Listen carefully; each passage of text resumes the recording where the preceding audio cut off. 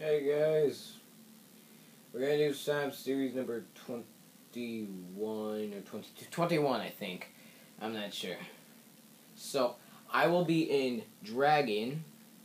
The ones you could pick from are Gravedigger, the Gravedigger Legend, uh, Max D,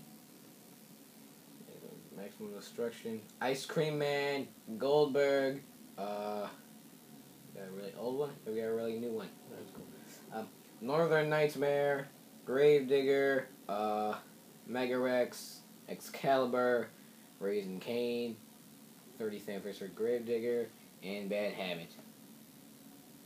Your teammates. So I'm kind of Raising Cain and Ice Cream Man are teammates, so I'm a little worried about that.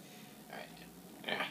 And uh, the ones that are going to be retiring from my series is this uh, 2011 Maximum Destruction because we got the new one, which is really different.